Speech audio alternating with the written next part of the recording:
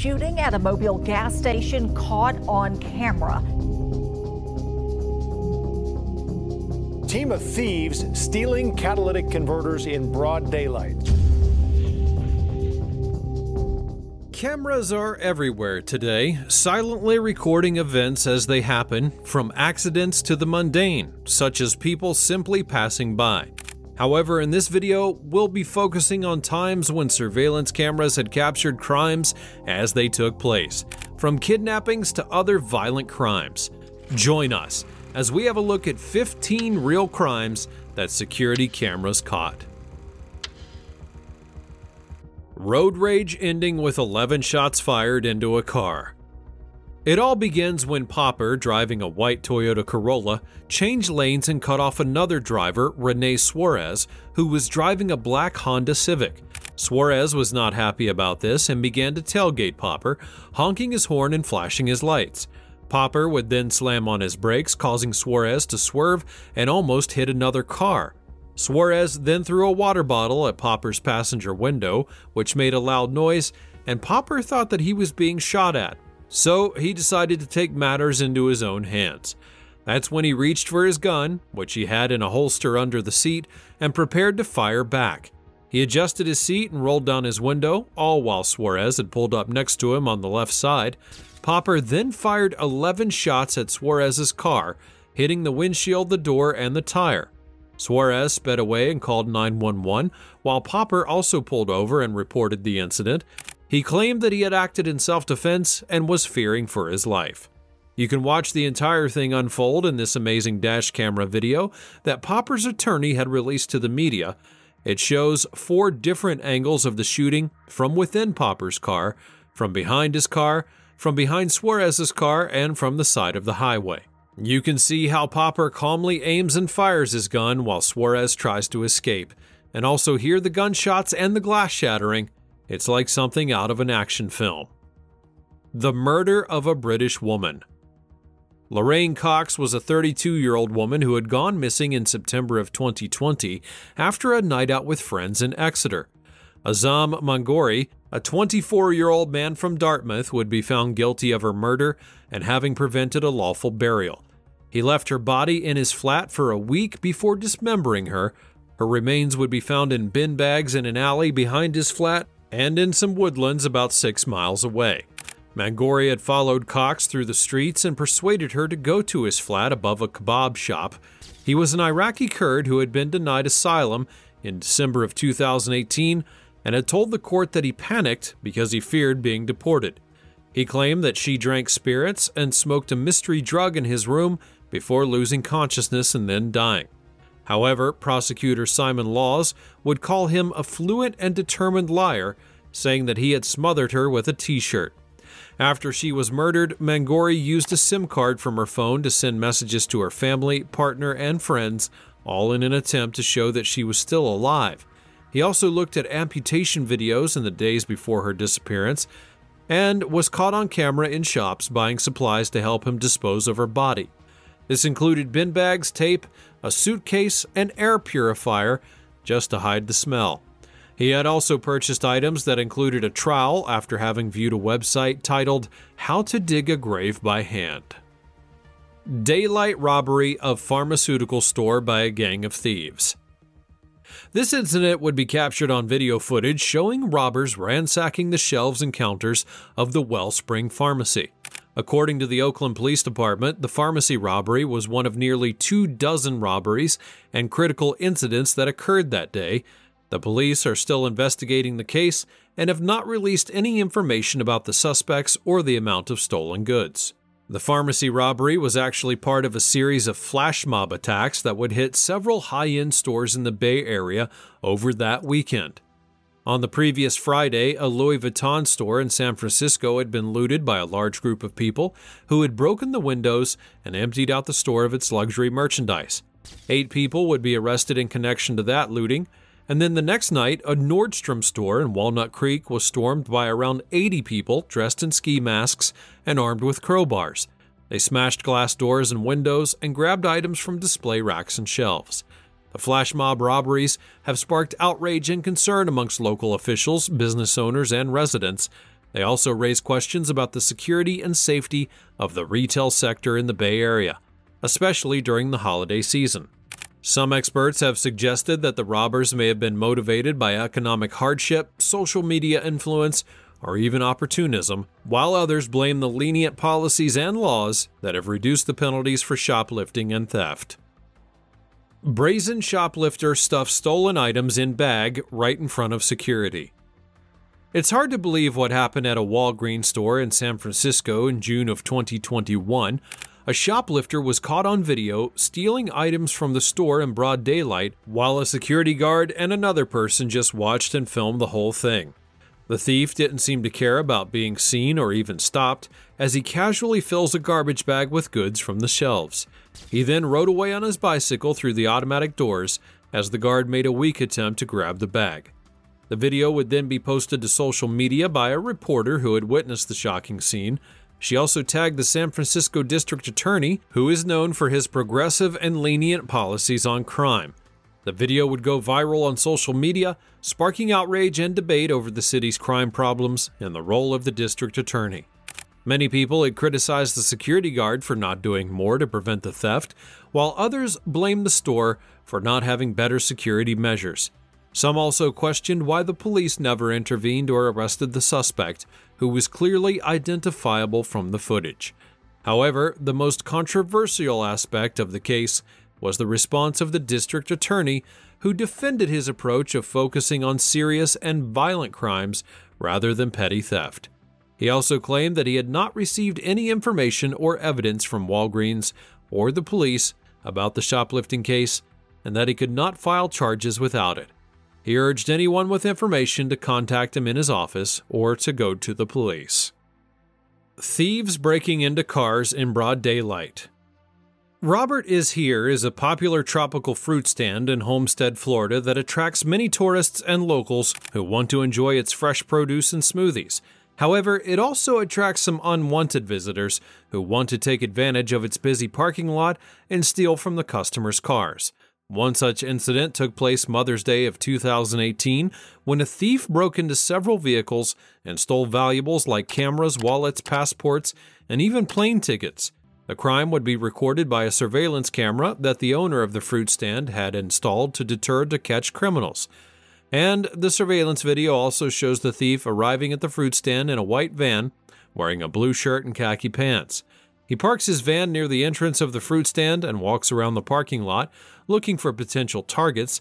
Then he spots an SUV with a bag visible on the back seat and approaches it from behind.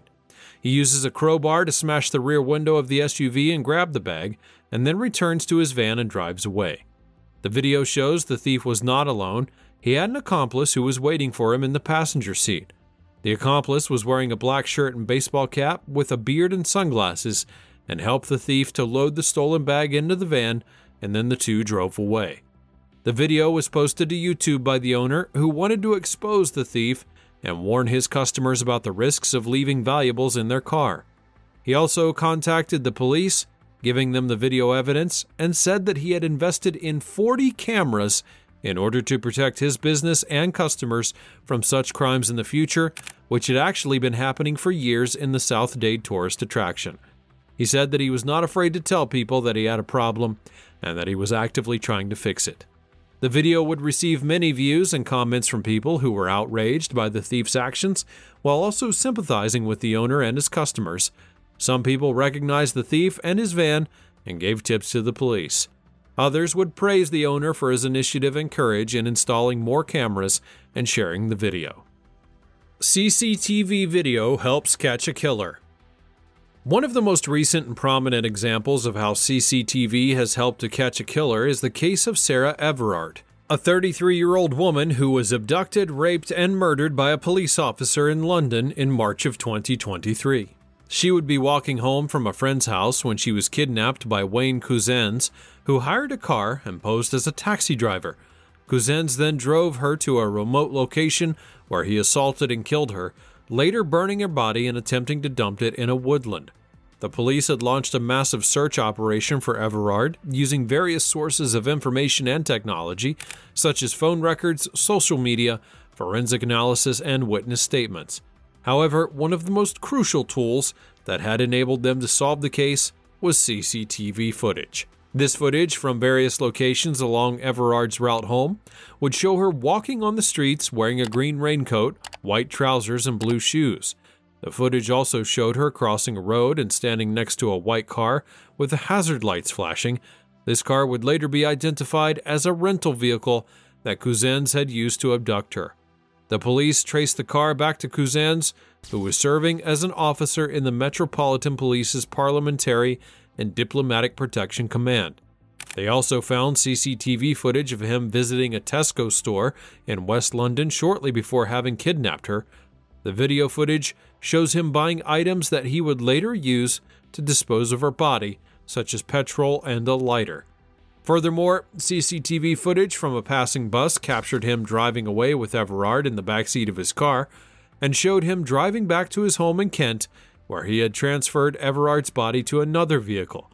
He was also caught on camera in the days after the murder, visiting various locations such as DIY stores, petrol stations, and car parks. Robbers wearing tinfoil as disguise. Some bank robbers may resort to more unconventional and bizarre means of disguise, such as wrapping themselves in tinfoil. This was the case of two would be robbers who attempted to break into a bank in southern Brazil in March of 2023. Those robbers wore head to toe aluminum foil suits, hoping to fool the alarm sensor of the bank. However, they had failed to notice the internal security cameras, which were recording their every move and alerted police. The robbers broke down one of the walls in the bank late at night and then crawled through the bank in their shiny outfits heading towards the main safe. However, their plan would be foiled by the bank's central monitoring system, which had seen them on the screen and called the police immediately. The surveillance video showed two men in silver suits, resembling astronauts or aliens, moving slowly on the floor. The police arrived at the scene shortly after having received the call and they surrounded the bank and searched for the suspects. However, they found no trace of them inside. They had already fled before the police arrived, possibly warned by one or two other people who were acting as lookouts. The police would then trace the car to one of the robbers. Teachers caught on camera offering better grades for affairs with students. This disturbing video out of Asia shows a teacher in his office trying to coerce his student into having sex with him in exchange for better grades. This took place in 2017, however, it is far from being an isolated incident. There are many other examples of teachers abusing their power and exploiting their students. For instance, in the United States, a 37 year old teacher named Michael Teetle had a secret relationship with a 17 year old student for 18 months until he was finally caught and prosecuted. Abduction caught on camera. Carlesha Freeland Gaither was a 22 year old nursing assistant who was violently abducted off of a Philadelphia street in November of 2014. Her kidnapping would be caught on camera by a nearby CCTV system, and that footage would show her walking along the street in Germantown around 9:40 p.m. after having gotten off the bus. She was approached by a man who grabbed her and dragged her to a parked car, and she then struggled and screamed, dropping her cell phone and breaking the car's rear window. The man forced her into the back seat and then drove away. The entire incident on camera lasts less than a minute. Police would release the footage to the media and the public in hopes of having generated leads and tips. They also offered a $10,000 reward for any information which would lead to her safe return home. That footage would be widely circulated on social media and news outlets, drawing attention and sympathy from people all across the country. Many people had recognized the car as a Ford Taurus, which had helped to narrow down the search. Police would also analyze the CCTV footage for clues about the suspect's identity and motive. They noticed that he was wearing a dark hooded jacket, dark pants, and white sneakers, and also observed that he had a limp and walked with a cane. They had speculated that he might have been injured or disabled, which could explain why he was targeting a young and vulnerable woman. Cattle thieves caught on camera. In Florida, one of the states with the highest number of cattle theft, a 77 year old rancher named Ed Davis became a frequent victim of this crime.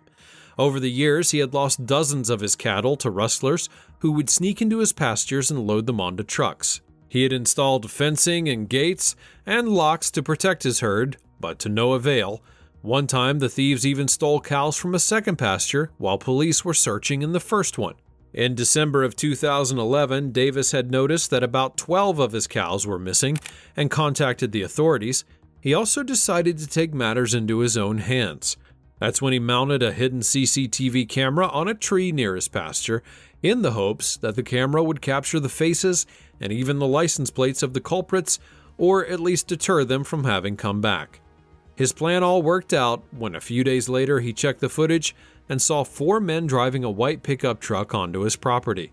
They had cut the fence, lured the cows with feed, and then loaded them onto a trailer, and they drove away with 17 cows that were worth around $20,000. Davis immediately called the police and showed them the video, the police recognized one of the suspects as Carl Smith, a 44 year old man who had a history of cattle theft and other crimes. The police would then track Smith down and arrest him at his home. Davis was relieved that his CCTV camera had helped to catch the thieves and recover his stolen cows. He said that he was glad that justice had been served, and he hoped that other ranchers would learn from his experience and install cameras on their own properties.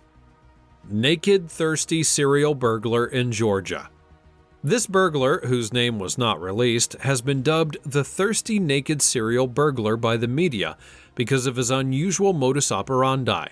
He would break into businesses at night, strip off all of his clothing, drink beverages from the fridge, and then steal cash and other items. He would also leave his clothing behind and DNA evidence at some of his crime scenes. He targeted restaurants, bars, salons, and other establishments in the Buckhead and Midtown areas of Atlanta. The police had been on the lookout for the burglar for months, but they had no leads or suspects, and so they decided to use CCTV as a tool to track down and identify the burglar. They'd installed hidden cameras in some of the businesses that had been previously burglarized, all in the hopes that the burglar would return. They also reviewed the footage from existing cameras in the area, looking for any clues or patterns, and their strategy would pay off in April of 2023 after they received an alert on one of the hidden cameras that someone had broken into a restaurant on Peachtree Street. That's when they rushed to the scene and found the burglar inside, naked and drinking a soda. Gay couple beat up in Philadelphia. The attack on a gay couple in Philadelphia in September of 2014 became a shocking and violent hate crime that would spark public outrage and a social media manhunt. The incident would also be captured by a surveillance camera that provided crucial evidence for the police investigation and the prosecution of the suspects. This surveillance camera was located at the intersection of 16th and Chancellor, just south of Walnut Street in the Center City neighborhood of Philadelphia. The camera records the movements of a group of intoxicated 20-somethings who were walking in the area at around 10:45 that night. The group consisted of 3 men and 3 women who were later identified as Philip R. Williams, age 24, Kathryn G. Knott, age 24, Kevin J. Harrigan, age 26, Elizabeth Foley, age 23, Brian Doherty, age 23, and Patrick Waldron, age 26. The camera also captured the moment when the group encountered the two victims, a 27 and 28 year old gay man who were walking from a restaurant. The surveillance footage was released by the police department five days after the attack because police had hoped that the public would be able to recognize the suspects and provide tips to identify them. The footage would be widely circulated on social media, especially Twitter, where users began to analyze the clothing and appearance of the suspects. Police officer shoots during a confrontation for no reason. Sean Groubert was a South Carolina state trooper who shot an unarmed black man during a routine traffic stop in September of 2014. The incident would be recorded by a dashboard camera in his patrol car, which had showed the sequence of events that led to the shooting of LeVar Edward Jones and the aftermath. According to the video, Groubert had pulled Jones over at a gas station in Columbia for not wearing a seatbelt.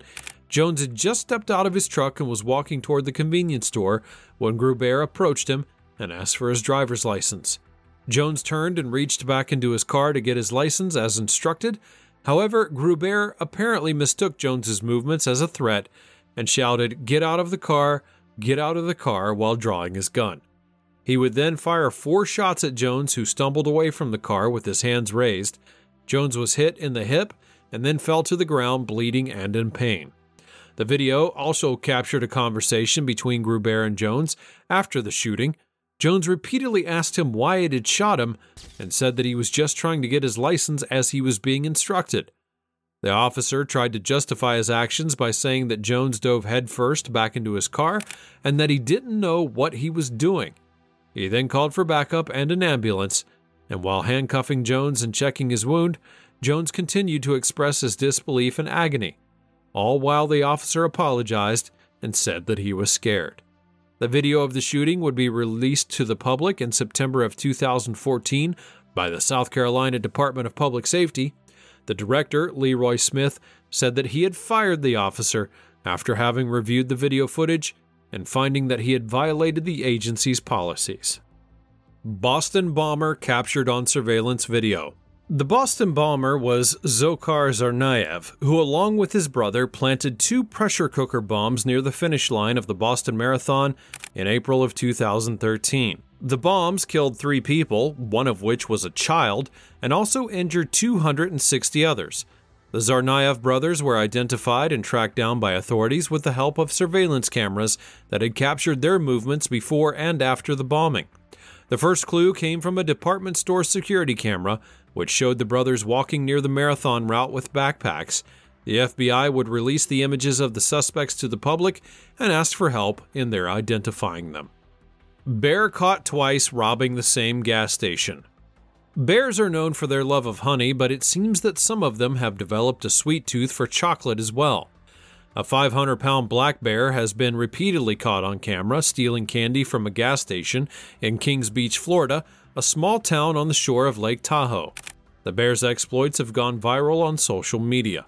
The first incident occurred when a bear entered the convenience store and the surveillance camera recorded a customer outside of the shop slapping the bear's rump as it entered before quickly retreating. Then, in an even scarier moment, the video shows a store employee trying to stop the bear from walking further inside. The bear snaps towards the man, who then backs away. It then proceeds to grab a bag of Snickers bars from the candy aisle and leaves the store without paying.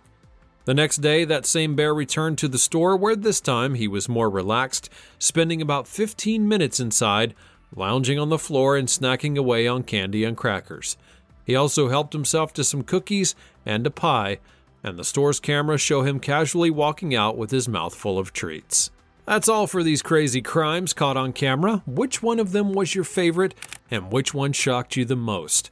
Let me know about it in the comments below. Be sure to subscribe to this channel and like this video for more like it in the future.